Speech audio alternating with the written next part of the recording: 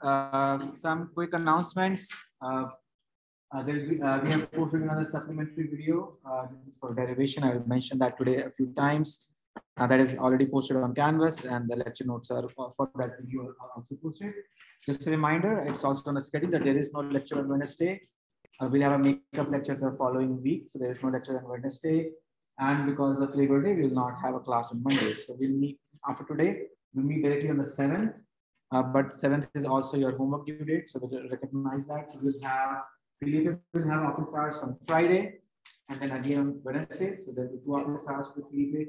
I'll have office hours today. So in case you have questions, you want to clarify any concepts, and I'll also have office hours on the day of homework for this. So you'll have plenty of time to ask questions. In, in case you have other questions in the meantime, you can always email us and we will promptly respond to you. Okay. When you email, just make sure you're copying both of us so that you know if one of us is busy, we can just answer the questions. The other person can answer the question. Okay. So hopefully that's clear. Uh, so just yeah, no lecture on Wednesday. We'll meet uh, on the 7th of September after this. And there's always a break whenever you have any Labor Day. There's always a break from classes. So don't forget transport till next week. Okay. Uh, any questions for the homework or supplementary video or anything like that? Announcements? Yes, please. Uh, so for Felipe, it's 3.30, uh, sorry, 3 p.m., 3 to 4 p.m. this Friday? Or, sorry? 3.30 p.m. on this Friday. Uh, we'll also send another reminder on Canvas website, so just so that in case you want to come on Friday. And then on Wednesday, I think Felipe, it's 3 to 5. Yeah. So Felipe will have 3 to 5 p.m. on 7th of September. Uh, and basically, I'll be available until 3 p.m. after the lecture ends. So I'll also have plenty of time. You can ask questions and uh, we'll try to give you as much time as possible. Yes. For Felipe's office hours, yes. Uh, what time do you have it? Five. Okay, so we can we can move the office hours. We can just move it later. Yeah, that should not be a problem. Yeah. Thanks for letting us know. Any other questions? We will uh, will post on uh, on Canvas and update it. Make sure it's five to seven or something like that. But we'll give make sure it's not on, on 15. And anything else? Any other questions? All good? All right, perfect. Let's get started for today. Uh, so just quickly, let's recap what we were discussing um, the last two lectures. So we started the course by talking about heat conduction and how heat flux is minus K grad T, where K is the thermal conductivity and it's a gradient of temperature. Then we spent a bunch of time last class talking about, you know, uh, mass average velocity, molar average velocity, and how uh, the flux Ji is equal to minus Di grad Ci is only rho for constant true and pseudo binary. In case you have different kind, if you can't make that assumption, remember we discussed three cases, binary constant density, binary constant concentration, and so on. Okay, so just remember that whenever you are using mass, uh, mass diffusive flux or molar diffusive flux, you have to remember about assumptions.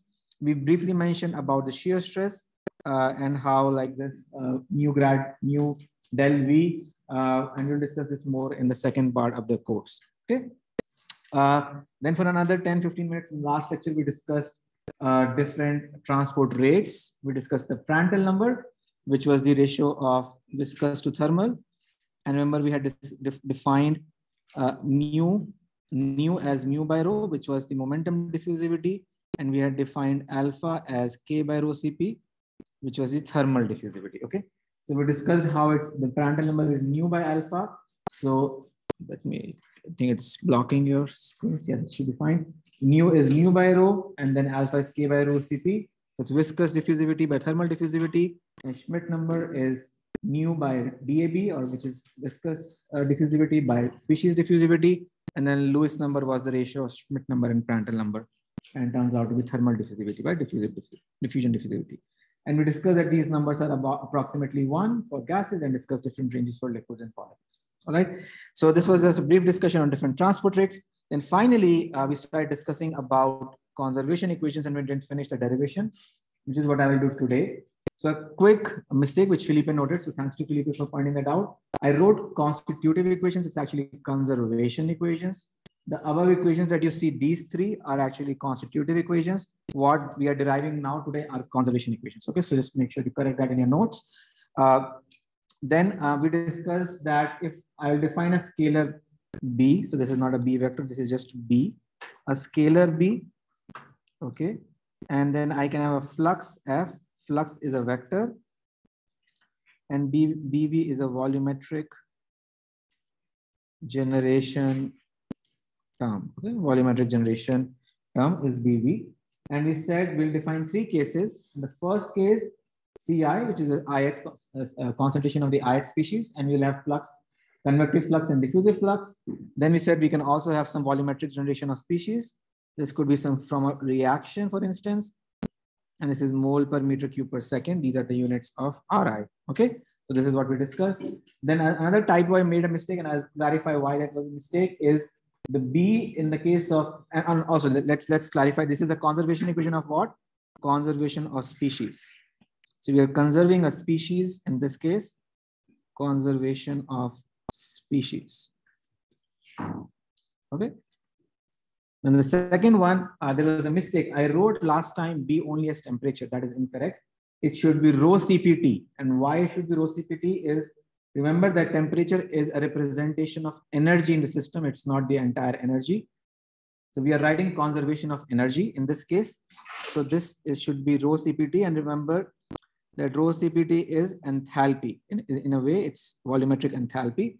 Uh, so this has the units of mole per meter cube. And this is the units of joule per meter cube, rho CPT. Okay. So uh, where Cp is the heat capacity. And also note that when we write flux, convective flux, it is the B which gets multiplied with the velocity. Okay, so when you look at the column here, you can also see what the B should be, because that's the value that gets multiplied with the velocity. Okay? That's another clue that B should be rho CPT. Uh, and then we discuss what heat generation, uh, and as was suggested last time in the class, that heat could be generated using a reaction or some sort of electrical heating. So that is a heat generation part. And finally, we discussed total density rho. Remember, we discussed because we are using the mass average velocity, there will be no diffusive flux because if there are, we are considering all the species combined, there is no diffusion. The diffusion was zero, so there was no second term here. The second term here, here was summation of ji, small ji, that would be zero, right? And we discussed that we cannot create mass. Mass cannot be generated or destroyed. And so that's why this is, and this is naturally the conservation of mass. So this equation is the conservation of mass. So an important table, keep it handy with you. Any questions about any of these terms? Here, units, anything that you would like to clarify? Yes, I think the last lecture you proposed a, a, a mini homework problem with a fourth Correct. Uh, again? Yeah, so great question. I will come to that once we derive it. I have a practice question on that, but great question. We'll discuss that in one second. Again, in a few minutes, we'll discuss that. Any other questions?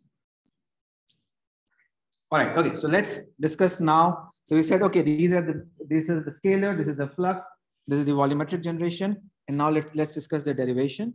So we started this, but I want to go through this again just to make sure, you know, you're all following uh, we said we'll de describe a control volume uh, in three dimensions, X, Y, and Z. Uh, we'll have the control volume be cuboidal. Okay. Where we have uh, delta Y, delta X, and delta Z. Okay.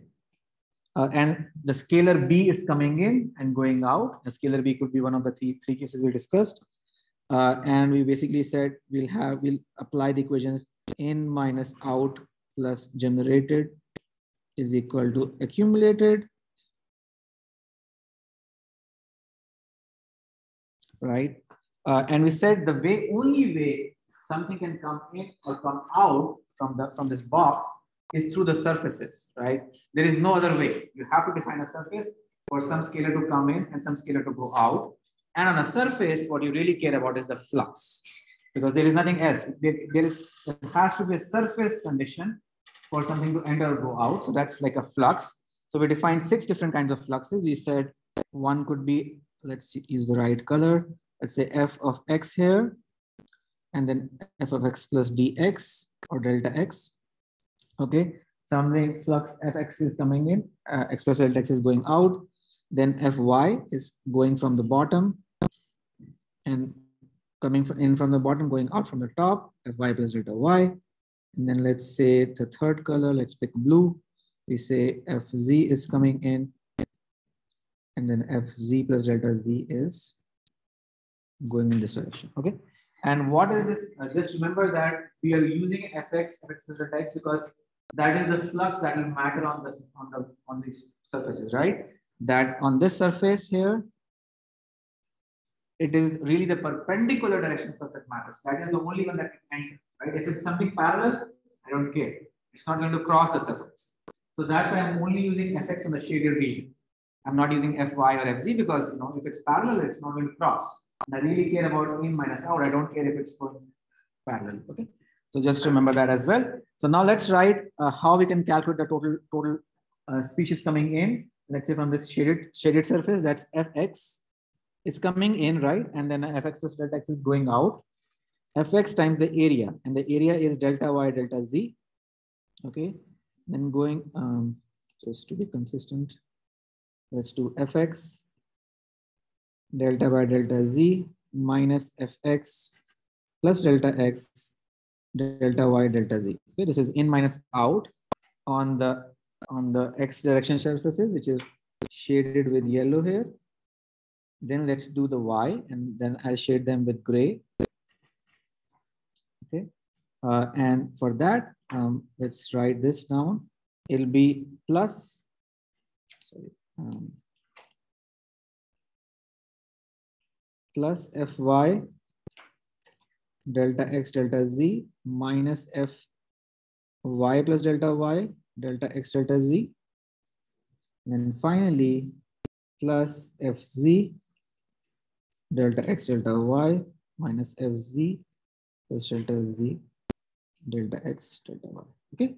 So as you can see, there is a pattern clearly coming in that whenever we add the coordinate x that gets multiplied with delta y delta z, y gets multiplied with the remaining two coordinates, when I a z, it gets multiplied with delta x delta y, so the third coordinate. Okay, so it's clearly that makes sense because it's perpendicular to the surface, which will have the area by the other two dimensions. So this is in minus out. So we have exhausted all the six surfaces.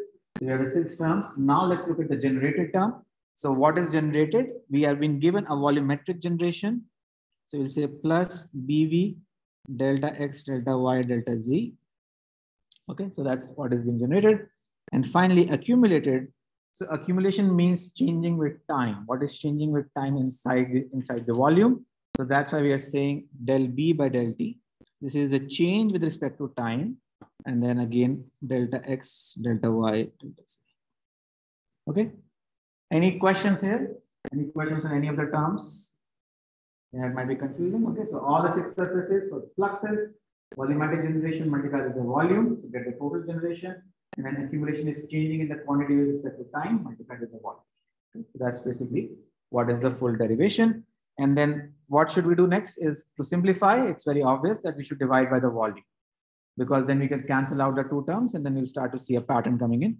So let's divide by the volume, divide by delta x, delta y, delta z. Okay. And I'll start to club the terms now. Uh, let me try to be consistent still. fx minus fx plus delta x by delta x plus fy minus fy plus delta y by delta y plus fz minus fz plus delta z by delta z plus bv is equal to del b by del t. Okay, so this is what we get. You just divide by the volume, and this is the these are the three terms we get. And then we'll take limits of because we want to write it at a point. Take limits. Delta x goes to zero, delta y goes to zero, delta z goes to zero. And I hope you can remember this now. Is this becomes minus del fx by del x y by del y minus del fz by del z plus bv equal to del b by del t or in a vector form you can say del b by del t uh, plus del dot F equal to BV.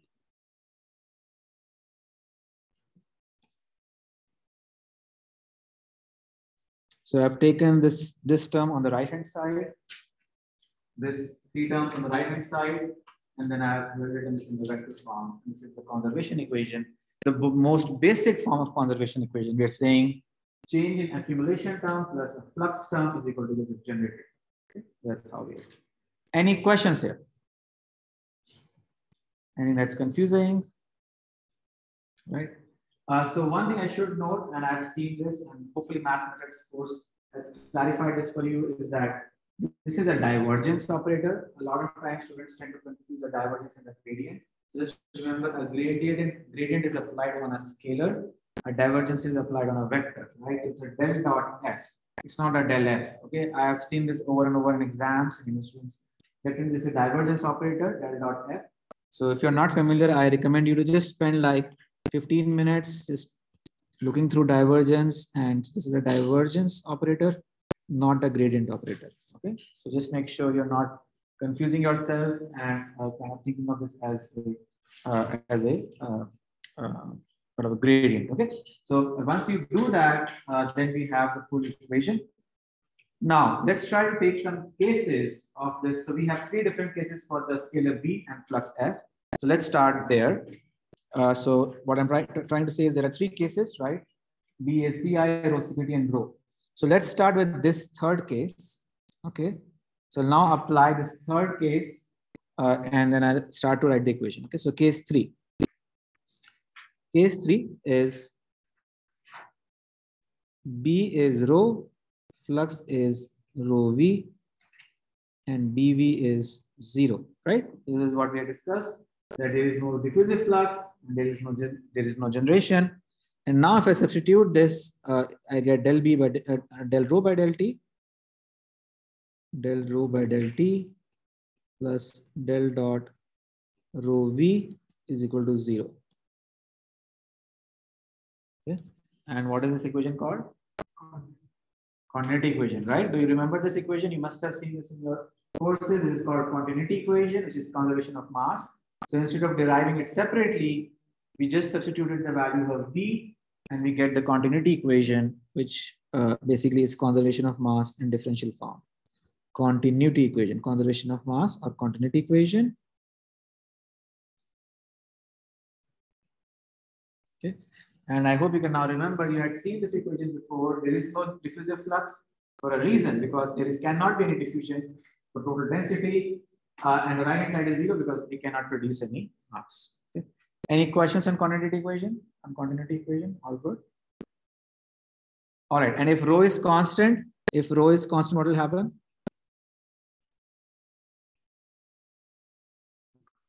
What will happen if rho is constant? Will I have the first term, the rho go, going go to zero, right? And then rho can come out of the gradient operator because, oh, sorry, the divergence operator because we know it is constant and so we can also drop it. If rho is constant, you simply get an even more familiar form that some of you might have seen is del dot V is zero. And that's when rho is constant. So, okay. So when for liquids, generally when rho is constant, you can just use this. But for gases, when the density is changing, density is changing, you have to use the top equation. I hope that makes sense.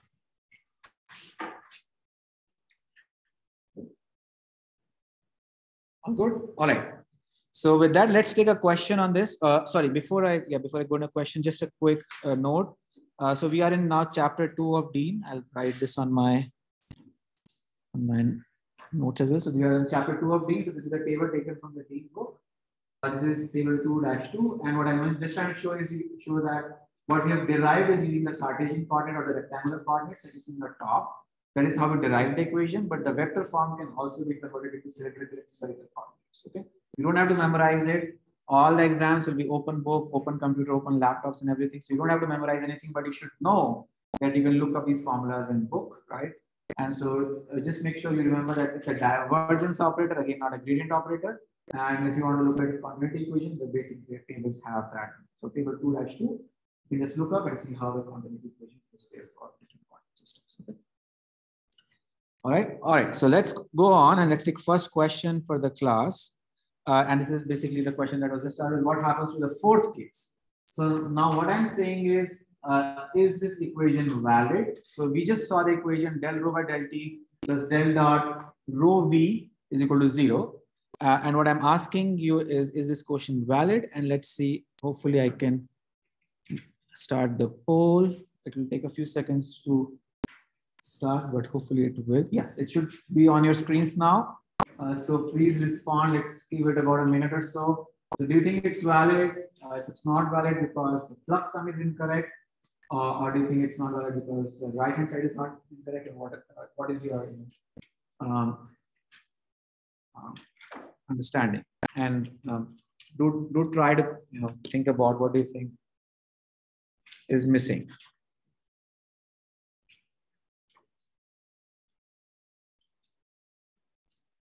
We have eight responses. Um, again,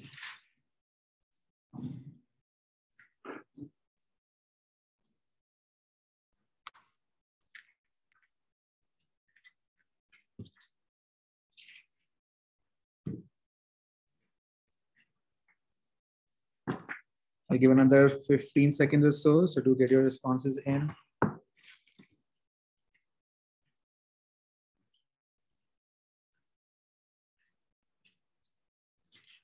All right, last few seconds, and then I'll close the poll. All right, perfect. So let's look at the results. So there is a split between A, B, and C. So please talk to your neighbor, convince what you wrote, what you chose, uh, and discuss what you think is the right answer, and then uh, let's talk more. Okay, so please talk to each other and discuss what's the what's the answer.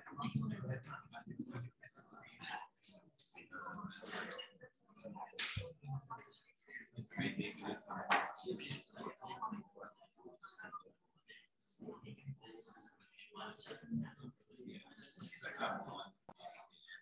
honestly but then I'm like, because I'm like,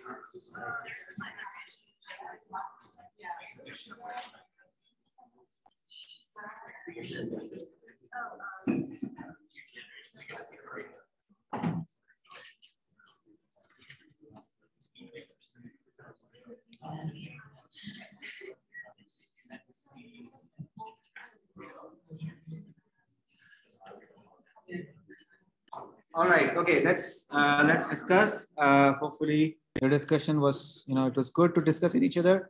So the correct answer is actually uh, C. So uh, it is because uh, it is not valid because of the generation term. That is, the RHS is incorrect. Uh, I should also have had an option of B, which is basically both terms are incorrect. But but but it is actually the, the second term is correct in LHS, and let's discuss why that is. Uh, so uh, now, this is where your understanding of the, uh, the topic comes in is that if its total concentration I want to write fluxes and note that I have used molar velocity here as a basis. So always remember the basis that we have used. Here I've used molar velocity as a basis, right? So I've used molar velocity as a basis. So my diffusive fluxes of diffusive fluxes of all the species will also be on the molar basis, right? We have discussed that then we have, whenever whenever we have diffusive fluxes on the molar basis, then Ji of m would go to zero, right? We discussed that the small little ji will have go to zero when there is no m on, on the superscript, and when we have capital J with this superscript m will go to zero. So the f term is actually correct. It is just convective. There is also no diffusion because we have chosen molar velocity as a basis. Now, if I give you the same example with a V instead of instead of a VM, then I can no longer say that the sum of J's will be zero, right? Because we have discussed that the sum of capital J's is not necessarily going to be zero, but the capital J with the superscript of M is going to be zero. Okay, so just remember that. And now the second, the th third part is volumetrically, can you generate moles or not? Of course you can, right? You can have changing in moles. You just cannot have a change in mass, but you can just generate moles. You can have a reaction where you can have like, you know, one species going into a couple of moles or three moles or so on. So moles are not necessarily conserved, right? Moles can basically be conserved or destroyed. Uh, and so how will you find them is the sum over all the species reactions, right? So if I know for each species, what is the reaction rate, then I can sum all of them, then I will know whether I'm getting those. So it can be there that when that the, no moles uh, are generated or destroyed, but it doesn't have to be there. Yeah, I can have some generation of moles, or I can destroy some moles. Okay. Any questions on this on this discussion? Anything that's confusing? Yes, please. Technically, if there is no generation, you just Correct. If there is no generation of moles, if, uh, let's say there is this reaction. It's a diffusion process that, that then you can have uh, zero on the right hand side, but it doesn't happen. Yeah. A special case, it could be valid. Let's if I say, uh, if I had the question in the way that, is this true? Is this equation valid for systems with no reactions? Yes, it is valid. But if I, I can have a reaction, that is not a general enough equation. It's a special case. Any other questions? All right. Okay. So now let's discuss case case two and one. So we discussed case three, which is b is equal to rho, f is equal to rho v, and b is equal to zero. We get the continuity equation. Then let's go to case two. Sorry, case one. Let's start with case one. Now my b is ci. b is ci. Flux is civ minus di grad ci. I just want to remind you again, this is only true for constant rho and constant rho and pseudo binary. Okay. Uh, and BV is equal to R of I. So we have discussed this. This is the case one. This is what um, we have. And then so my equation will, will become del C I by del T. Del C I by del T plus del dot CIV minus DI grad CI is equal to RI. Okay, so this is basically I'm just using the equation um, just to clarify again in case I'm using this derived equation the del dot F is equal to BV which we derived today. I'm just substituting the values to get to this equation. Okay. All right. So now uh, there are some things that we can uh, do to simplify this equation further. One thing is note that we have a constant rho. Okay, so this equation is only valid for a constant rho, right? And what do we know about constant rho? What will happen? We know like what is the special property when density is constant? It's written on the top, right? Del dot V zero, right? If rho is constant, we just derive because of conservation of mass, del dot V is zero. So what I will do is I'll skip a couple of mathematical steps. Is there in the supplementary information? I go through it very slowly. So don't worry, it's not something you are expected to like know all of these kinds of simplifications. But I would highly recommend to take just a little bit of time to see these steps. I just don't want to I want to focus more on discussion, but there are some couple of mathematical steps. So I'll, I'll skip them here. I'll ask you to go through the supplementary video, which does discuss some of these mathematical steps in detail. Uh, and all what you will find is you'll get del psi by del t v dot del, and I'll discuss what this is. V dot del ci is equal to di del square ci plus ri. Okay, and di is the diffusivity, which is constant. That's that's how it comes out. And what is this v dot del? It's an operator which can be expanded to vx del vx by del x. So uh, sorry, not um, vx vx del by del x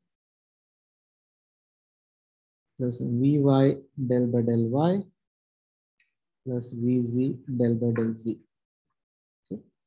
So this is what you operate on Ci. So it becomes Vx del Ci by del x, Vy del Ci by del y plus Vz del Ci by del z. Okay. And I again recommend you you can go through the derivation. It's not that difficult. It's a couple of steps. We use the condition that del dot V is zero uh, and we can simplify to get to this form. And this is known as the species conservation equation. And some of you may have read about this as Fick's second law, right? So this is species conservation equation or Fick's second law. This is again an important equation for you to remember.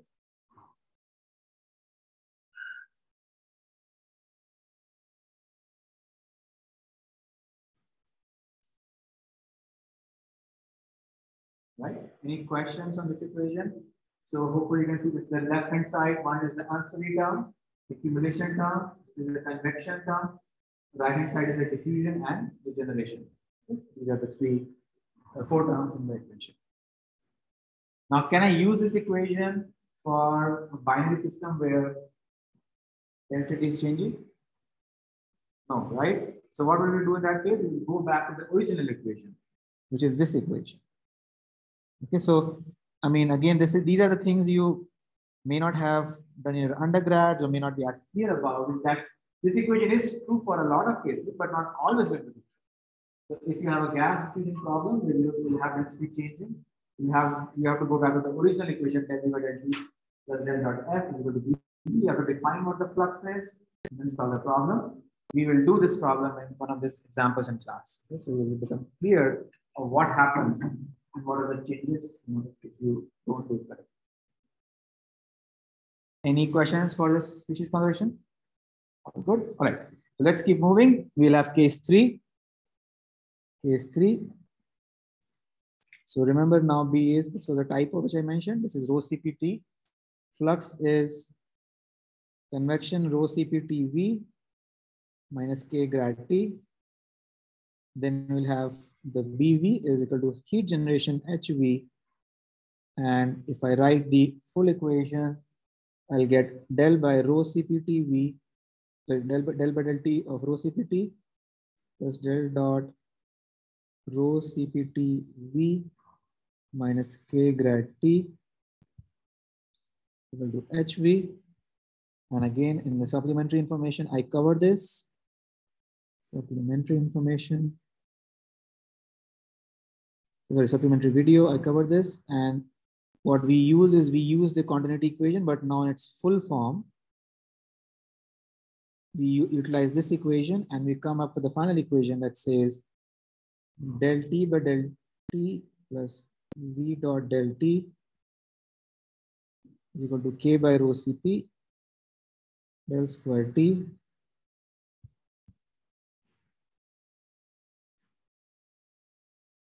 del square T plus HV by rho Cp.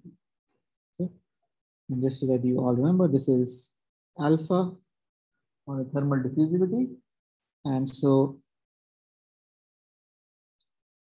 this equation looks very similar to the equation for species diffusion. The only difference being that I have replaced temperature, Ci with temperature. The diffusivity has been replaced alpha and the volumetric generation has been replaced by Cp. Okay. So hopefully I can have them on the same. You can see them, them on top and bottom. It's the same equation. If you just replace Ci with T uh, and Di with alpha and Ri with Hv by rho Cp, you have the exact same setup. Okay. So whatever we will learn about heat, heat transfer can be applied to species diffusion if as long as it's constant rho and pseudo binary. So there are a lot of similarities between the two equations. And that's why this topic is taught them together is that they're basically the same equation, just that you're replacing one with the other variable. And this is known as the conservation of energy. Yes.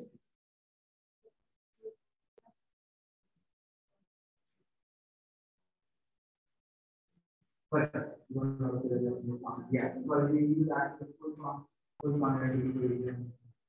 There is an assumption that thermal conductivity. Good question. I should have mentioned this. I forgot. This does assume that thermal conductivity is constant. So it assumes K is constant. Okay.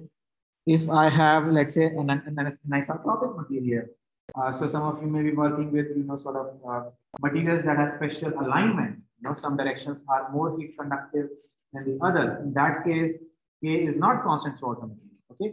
A metal in general would have a similar material, but if you're aligning the material crystals in the material, then you may have parallel direction of conductivity be higher than the perpendicular one or something like that. In which case, K is not constant. You cannot not use this uh, formula. Uh, if some of you are interested, it is possible to mathematically handle such things.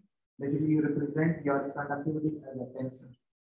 Or you basically can also have K as a function of temperature or something like that, depending on the material properties. But there are methods to do that. Uh, and shape anisotropy, or the uh, material anisotropy can be captured in these equations. Just that will not be covering in the course. But it is possible. Very similar ideas, just a little bit more mathematical involved. Any other questions here? Good? Okay. So now let's just finish our table. I'll copy paste the table from earlier and I'll just write all the equations here. Just copy this.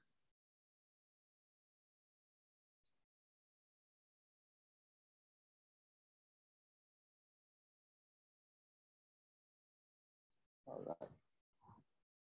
So we discussed this. Uh,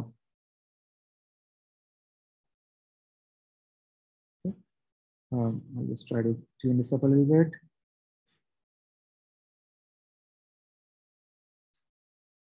All right, so we discussed this table. And then now we have the equation. The equation is del ci by del t plus v dot del ci is equal to di del square ci plus ri. We have del t by del t is v dot del t uh, k by rho cp del square t plus hv by rho cp and then del rho by del t plus del dot rho v is equal to zero. We have the assumption of constant k here and constant rho in pseudo binary. So these are our equations. Uh, and again, all of them come from the master equation that we derived del b by del t plus del dot f is equal to b. This is the master equation that we have. Any questions here? All good? All right. So let's take a five minute break. We'll come back at 1247 and start, and then we'll start to discuss how to finish our set of equations. These is not a finished set of equations. We'll discuss that after the break, uh, and then we'll continue. Okay. So after the break, we'll, we'll have many questions for your iClicker type questions. So, you know, we'll have a lot of participation in the remainder of the. All right, so let's resume at 1247.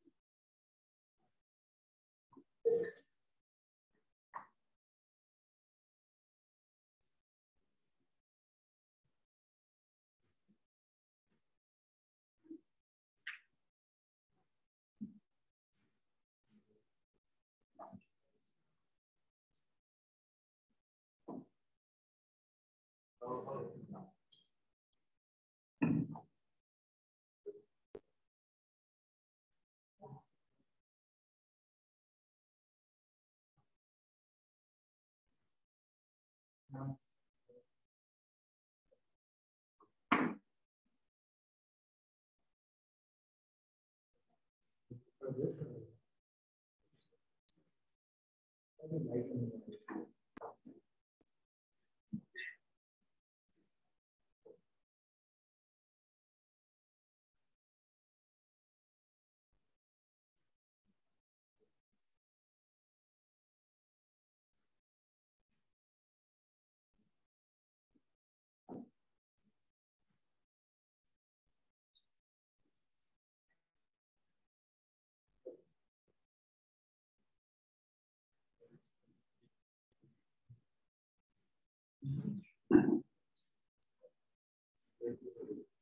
Okay, sure.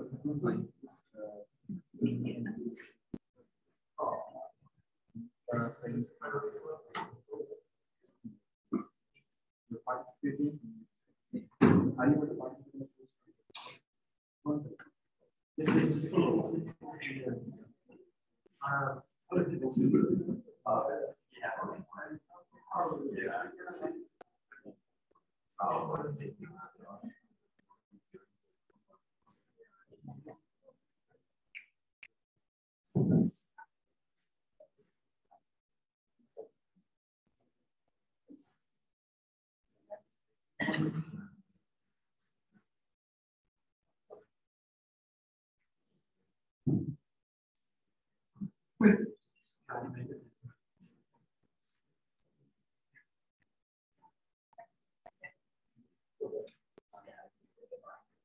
All right, uh, it's twelve forty-seven, so let's get started. Um, hopefully, you know, uh, you're following along now, the course is starting to come together.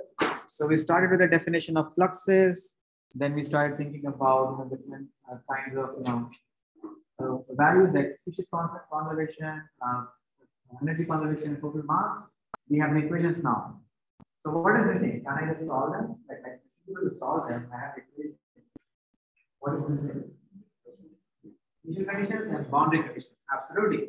So basically, that's the main missing element now, and that's what we will learn. I would say there are two parts which I will really emphasize throughout the course. Is that these are the equations. They are the most complex set of equations, most complete set of equations. Okay. So how to choose the right terms from within these equations, and then second part, as we all pointed out, is the boundary conditions and the initial conditions. Okay. So that's what we focus next. Uh, and I will see we'll try to combine, come back again and again. What is the governing equation, what the boundary condition, and then how to solve. So great. So let's start with thinking about how what are the right boundary conditions and initial conditions. So I'm not going to really cover much about initial conditions. That is literally the initial condition that will be given to you. What happens at time t equal to zero. So initial conditions are just basically specified values at t equal to zero. So that's not that complex. We'll be giving you, okay, you know, assume the concentration is linear or concentration is constant or temperature is quadratic or something like that. So that is something that is not, you will not be solving necessarily. In these sets of equations, you will not be doing that. But what you will definitely need to know, and that is very important part of this course, is boundary condition. And boundary conditions make all the difference. Boundary conditions.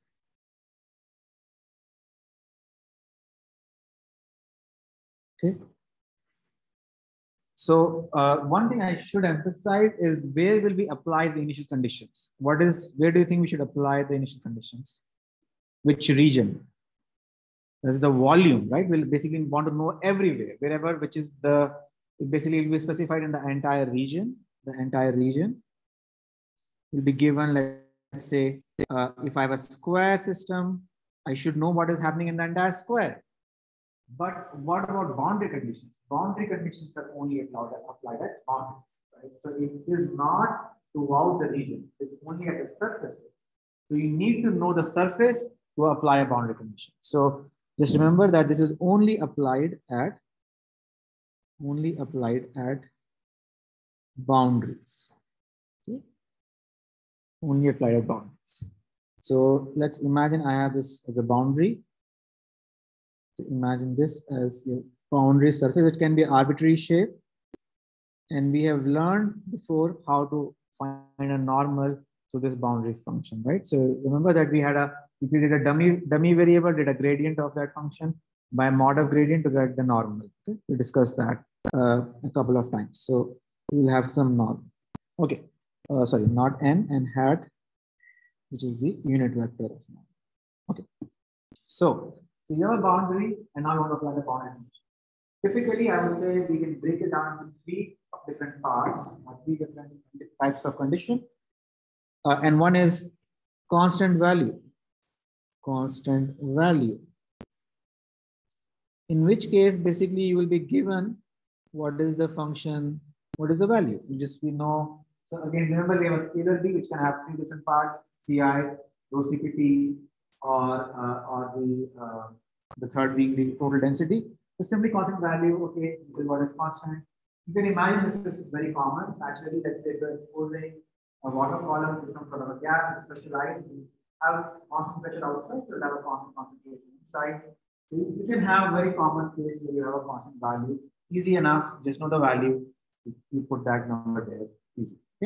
So that's the easiest form of uh, boundary condition. Then we have a constant flux. Constant flux. Okay. So how do I calculate flux through a surface? We'll discuss this. How do you calculate flux through a surface? Dot product with n cap, right? That's what we discussed. That if you know the flux Q, we had discussed the thermal conductivity. If you know the flux Q, you can project it to the surface by doing a dot product with the n cap. So here simply simply we'll say n cap dot f is some specified value f naught, which is a scalar. Okay? Scalar with a direction of n cap. So you'll be given, okay, well, the flux is zero, or flux is constant, and you'll be given a value, and then that is how you will. Just make sure your n cap direction is consistent. It's the same uh, for both the scalar and the uh, and the flux calculation. So this is the second part, which is constant value, constant flux. But I'm not doing it. The if you want, if you're very particular about following everything systematically, you can create a table for three different cases as well. It's just copy pasting the value of B and F. I'm not doing it. The book does do that. So if you're interested, you can look at the book. Just repeating what is the value of B, what is the value of F, and so on. I'm just out of saving time. I'm not specifying three different cases, but note that we're discussing three cases, right? Concentration, energy, total density for all of these. So these are the two simple boundary conditions. The most important one, and I think that's the most critical one to understand and really learn, is the third one, which is called like the interfacial boundary condition or inter, uh, interfacial boundary condition. Boundary condition. Okay. So this is just simply saying there is a boundary I know the value and I know the flux. Okay, so those were the two ones. And now what is this interfacial boundary condition is saying that I'm actually interested in solving in both sides of the region. So what I implicitly did not say here is that I'm just solving, let's say, in this yellow region that I'm shading now. That's my region of interest. I just want to solve on the left of this boundary. I'm not really solving on the right of this boundary because that's not something I'm interested in. I just don't care about the right hand side. That can happen. Let's say if something is constant outside, you just don't care. Like let's say air, water, you don't really maybe care about the air side. Okay, or uh, maybe you care only about the air side, but not about the water side. So it's just one side of the interface. But in reality, and it's the most interesting and useful examples come when you have to solve on both sides of the interface. So the boundary is not an end of the overall region, but and it's kind of a separation between two different phases. And that's where the boundary condition becomes, this boundary condition becomes important. So let's now define this interface. So we have this interface, let's say. I'll have phase one marked by yellow. This phase one here. Again, this interface can have an arbitrary shape. Phase one, and then let's pick a different color. Let's say blue. It's dark here. Let's pick something like a gray. Phase two here in the other side of the phase two on the other side. Okay. So if you are a person like who likes to visualize what is this, you know, kind of abstract concept, think of it or air water interface. Simply thing, air water interface, is boundary representing sort of a shape of that. Um, that's all. So think of air water, something like that. All right. So the other thing uh, to note here is I'm defining something now and I hat. So this is the interface. This is the normal to the interface. And if you remember, I had told you earlier that as long as you're consistent, it doesn't matter what direction of n hat you use. Here, it does matter what direction you use. So please make sure it's clear that ni hat will go from phase one to phase two always. You can choose phase one to be the gray one and phase two to be the yellow one.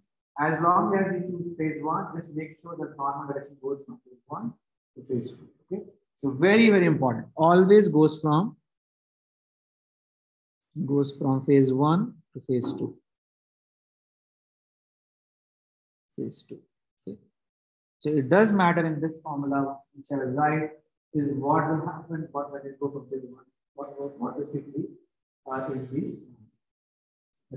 Okay, so this is one important normal direction of the interface. So pick a phase one, pick a phase two, just make the normal according. And the answer won't change as long as you're consistently doing the uh, right, right step. Now the second part, and this is the most tricky concept, and whenever I've taught this course, this is the most complex sort of uh, idea that comes and students always struggle with it, is that we'll say there is a velocity of the interface. So that the interface can actually move. It's not going to be necessarily static. And so, have asked me this repeatedly. Now I've taught this a few times and they're always asking me, how can you have a velocity of an interface? And the best example I can give you, and you can think about this, that let's imagine that there is a column of oil, or sorry, let's say acetone or something like that, in, in, in air, and that, uh, that acetone is evaporated, right? So my air-water interface is actually moving. There is a velocity of interface. And we will do an example of that. So it's not an abstract concept. In reality, an interface can also move. And even, even when the interface is moving, it's possible that the velocity individually may be zero in both the cases. Okay? Having a velocity, if something is moving, it doesn't necessarily mean that there's a net velocity side. If something is operating, it's going now slowly. Okay? So we'll discuss some of these concepts and I'll try to clarify how this makes sense. But the idea being that there can be a velocity in this, which is different than what is going on in phase one and what is going on. They may be related, but they are not necessarily identical. The can be something. And, and the can have its own direction. So with that in mind, now remember that I'm thinking about a uh, scalar B. It's again common to have this mistake. Let's imagine I have carbon dioxide in phase two, which is the air, and carbon dioxide is dissolved in phase one, which is dissolved carbon dioxide. It's the same species, but when I will be writing the equation, in one case I'm solving phase two, and one case I'm solving phase one. Okay, so I have two sets of conservation equations. I will be, I will have, if it is valid, if somehow I can have the pseudo binary assumption constant or valid, I'll have the top equation, one equation, sorry, one equation in phase two, one equation in phase one. Okay, so there'll be two equations, and then I'll be connecting them to this boundary. Just remember that. And we'll discuss some of the examples. What I'm just trying to clarify is that when I say B or a value B, that can be either in phase one or phase two, and they may be different. They're not going to necessarily be the same. So the book goes to the derivation. I think that you can do the derivation, but I will give you the, the final result. Uh, and you know, it's it's intuitive once you see it. So what is the final result? The final result is f minus bvi dotted with n cap in phase one with an i cap minus f minus bvi in phase two dotted with an i cap plus bs is equal to zero. This is the interfacial balance condition. Interfacial balance condition. Okay, so interfacial balance condition. So there are there's a lot of things to uh, take care, like kind of think about. This is surface generation. Surface generation. And this is relative flux. Relative flux from phase one. Relative flux from phase two. And basically, if you want to think a little bit more physically, this is in minus out plus generated equal to zero. So the system is in, the second term is out, the third term is generated. Okay, another way to think about the balance. In minus out is generated, and there is no accumulation because accumulation requires a volume, right? Accumulation had a volume. Now we're thinking of a surface. The surface will not have accumulation in almost all cases. But there are some examples where you have it, but we'll not discuss it in this course. So this is the formula. This is a quite complex formula. It takes some practice to get used to. Don't worry. We'll do enough examples. You'll do it in your homework. You do it again and again throughout the course and you'll get used to it. Okay? So what is going on here? What is this, you know, how, what is basically essentially the idea? The idea is there is some flux, some flux coming from phase one. First thing is note that the direction of Ni is important because Ni determines my in minus out. If my Ni is going from phase one to phase two, that's why the in is from phase one and out is from phase two, right? Because the way I have defined my Ni, right? If I do the Ni to be opposite, in will be from phase two and out will be from phase one, right? So that's why the direction of Ni was important. Just note that. And why am I subtracting is BVI? The idea is that my interface is moving and I'm getting some flux. And what I'm really trying to get is the flux through the interface. So to subtract sort of a convective part from the interface. So that's sort of like when you do the full balance it becomes a little bit more obvious, but this minus BVI comes when the interface is moving. If the interface is stationary, it doesn't matter, you just drop it. It's simply a flux path. But if the interface is moving, you have to also take into account that, let's say if my flux is almost the same as the, uh, moving with the interface, I'll not able to cross anything. That's why it's sort of a relative flux with the interface phase one, phase and then there is a generation. So can I generate something at a surface? You can, right? You can have a surface reaction. You can have something uh, like a surface heat flux. You can be heating a surface or something like that. So that there can some surface. So this is basically what is very important. So we come use formula again. Any questions about this formula? Anything that's confusing? So I know we didn't cover everything. Yes.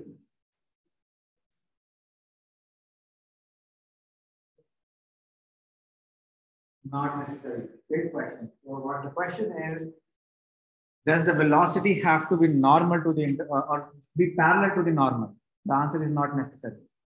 So the, it is, this is more general, but uh, you can imagine that when you take vi dot n, you will only care about the final normal velocity, but the velocity doesn't have to be normal. That's not a necessary part. But at the end, that is the one that ends the money. Normal normal. Parallel, yeah, right. That is what I'm absolutely because I just care about the flux in the parallel perpendicular direction. So I don't have to subtract anything. Goes to the great question. Other questions? All right. Okay. So let's let's go further. So one final thing to note here. One final thing to note here is note about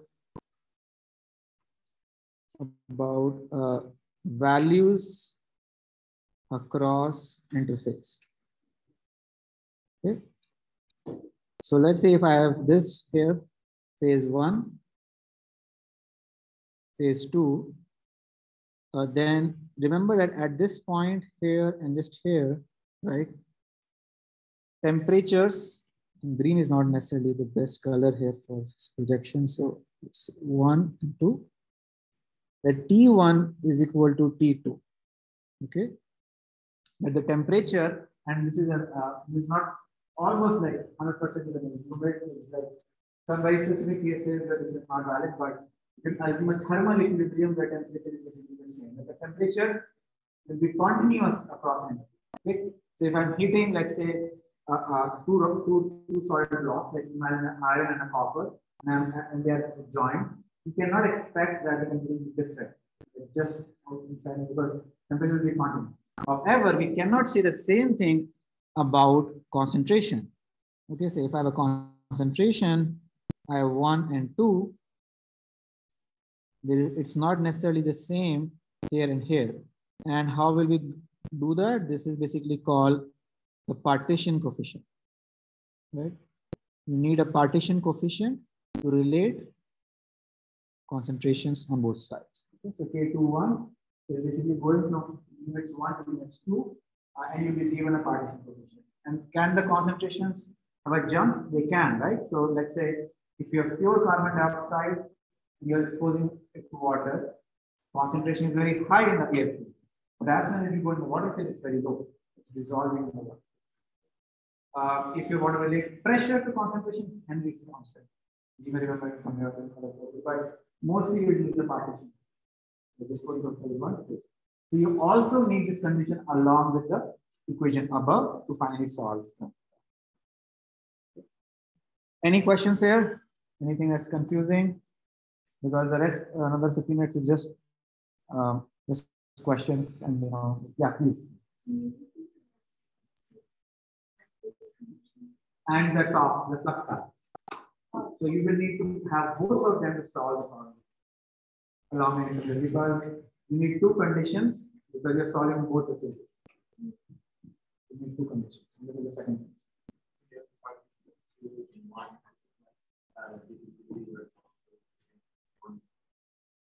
No, so good question. So diffusivity is completely separate. This is a thermodynamic So this partition coefficient is not related to the You will be given the diffusivity will be also different, V1 and V2. But absolutely, this is just like a relationship that comes out of fluid thermodynamics and is not diffusive. Yeah, the diffusivity can be different, but note that I will K2 1, if I write K1 2, that will be, then I'll say C1 is K1 2 times then I'm subject. This one it gets to another one. Any other questions?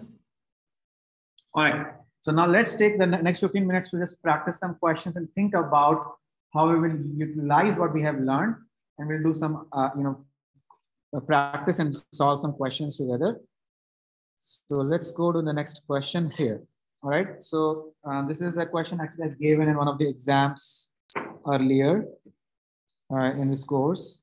And uh, so you can imagine this is the kind of understanding try to get is that we have considered two stationary slabs with different heat fluxes on the side. What can be computed based on the information provided? Okay. So you can either use the intuition, but I would recommend try to use some of the things we discussed now. Either heat is being consumed, heat is being generated, heat is consumed, not generated, or that the situation is not even possible. What do you think is going on in this problem? And I'll start the poll. And let's take about maybe a minute and a half or so to start. It should start. So take, let's take about a minute and a half to go through some of this.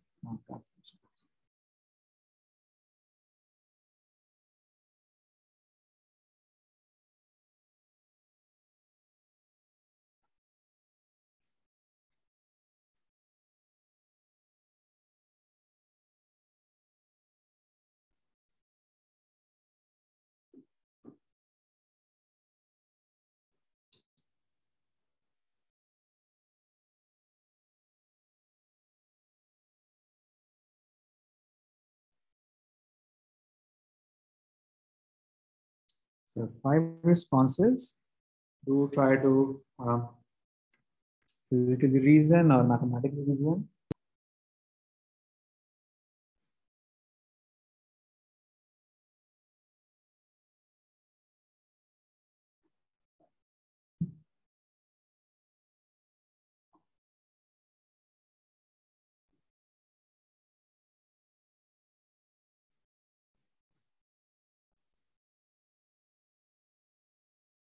All right, another last, uh, let's do last 15 seconds. Please do get in your answers.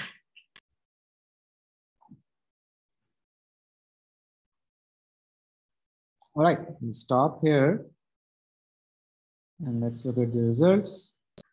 All right, so it's being, it's pretty split, as you can see, evenly split uh, across A, B, and C, and some D also. So let's like, you know, please discuss. Uh, and then I'll reveal the answer. Please discuss and try to talk to people maybe you are not sitting next to, and just you, know, you can uh, walk around also a little bit, and then we'll, we'll discuss. Okay.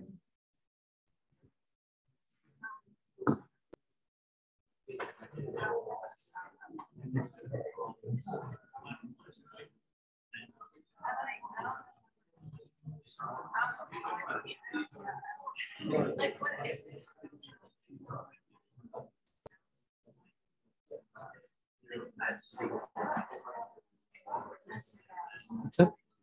I have a question. Yes. Is there some sort of tangential balance that you can also write? No, we can. Yes. So I, I was wondering, just like, can it physically change from EX to 2EX at the tangential The velocity can different. So what governs that? So just there's no heat. I think you don't have to balance it. Yeah, you don't have to balance, but why would it be different? Oh, just to just imagine two different velocities moving, right? Have two slabs moving in the Okay. two different velocities. Yeah, but in this case, it's not related to the law, or it can be. It can, yeah. I mean, we haven't discussed it. Yeah, connection, we haven't discussed what it is. Yeah. Okay. Yeah. Other than that, I think. Sounds good.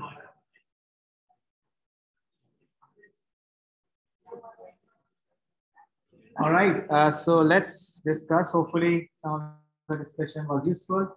Uh, so the answer is actually heat is being consumed, uh, and we will discuss how it being consumed uh, in a second. Okay, so uh, so let's go here. So we have f minus bvi dot ni minus f minus bvi dot in the second case with bs. So now note my n is being pointing in this direction. It's ey, right? So this has to be phase one. This has to be phase two. Okay, so this is being given to me. I've been told that these are stationary. So there's nothing, interface is not moving, right? Because the problem says these are two stationary metallic slabs. right? They're not moving. So if they're not moving, then I can say this goes to zero and this goes to zero. Okay. So I have F1 flux in phase one dot Ni plus flux in phase two dot Ni plus Bs is equal to zero. All right. And now uh, phase flux in phase one is given to be as Ex plus two Ey, Ex plus two Ey dotted with Ey minus f uh, x in phase 2, which is 2ex plus ey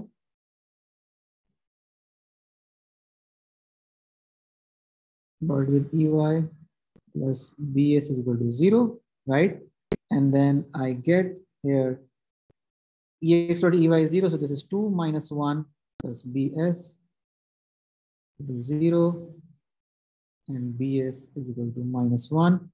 When it's negative, uh, BS is supposed to be generated term, but it's negative, it has to mean that it should be consuming.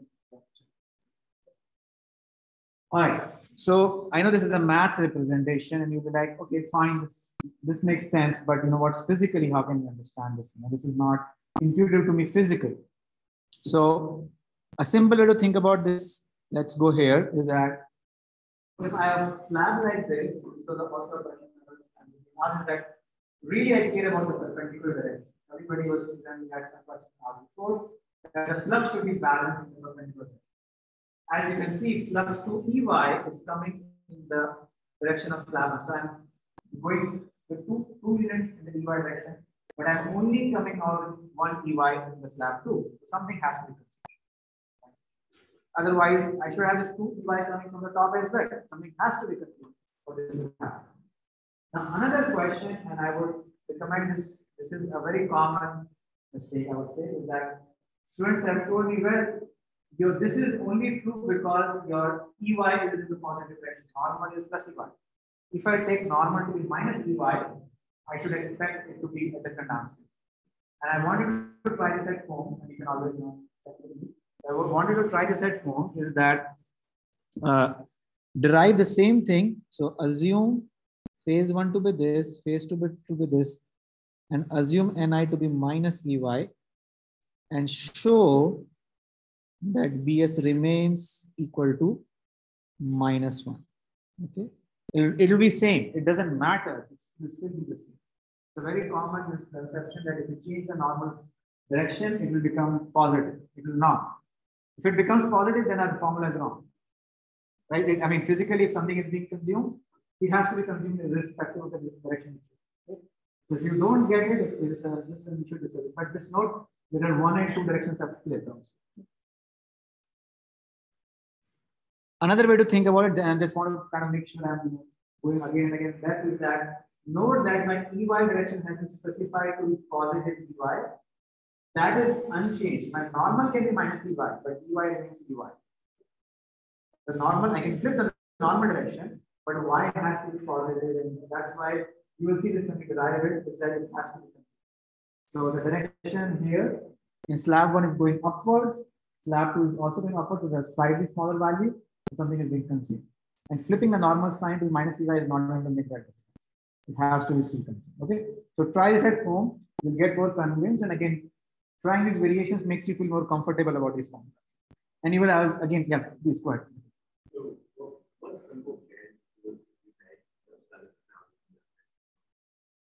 Oh, great question. So what is what what should I change in this problem? Great question. That I, I should get any, any anybody wants to take this answer? Yes, please. What's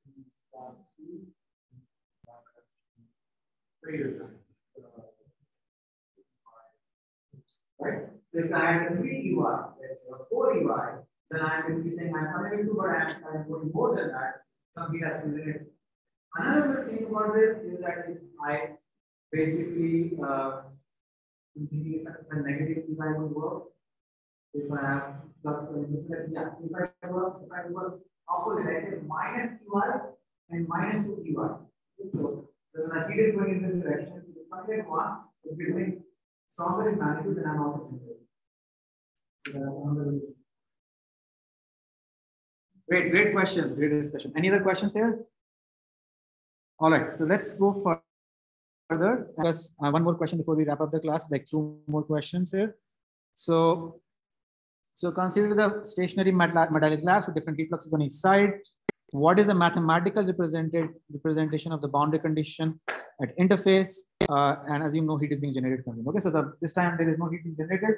What is the flux balance I should write? And this will be a quick question. I just want to make sure uh, you are kind of following the boundary conditions we're discussing. What are what is the boundary condition I should use? Uh, and normally the UI. Okay? So what is the right condition we should use? I'll give give it about a minute. Okay? Give it about a minute.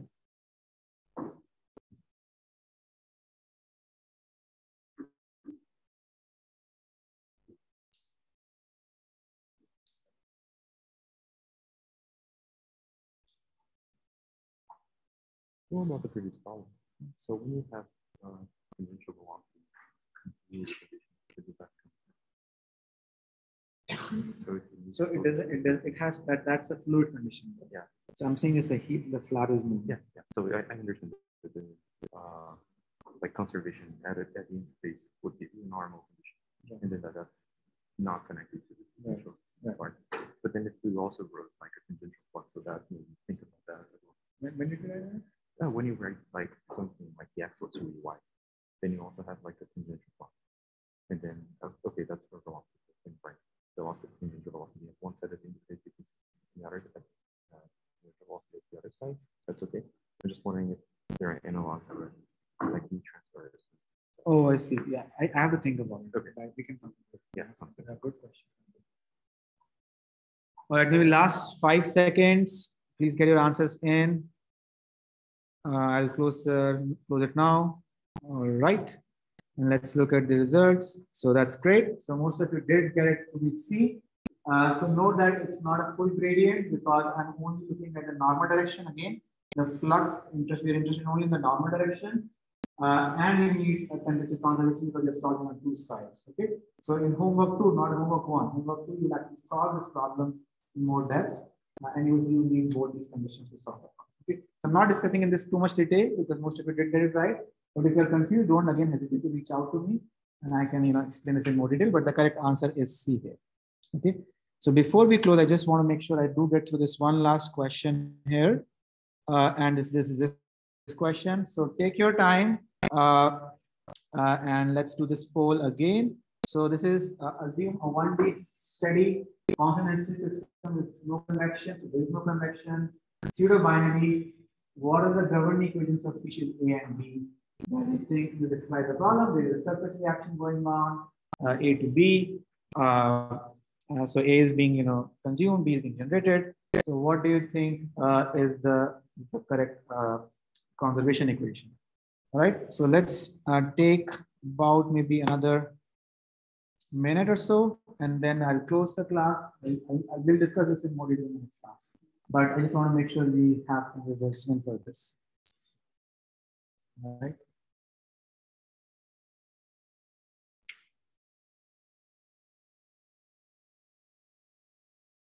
The four responses Maybe just take a guess if you're confused.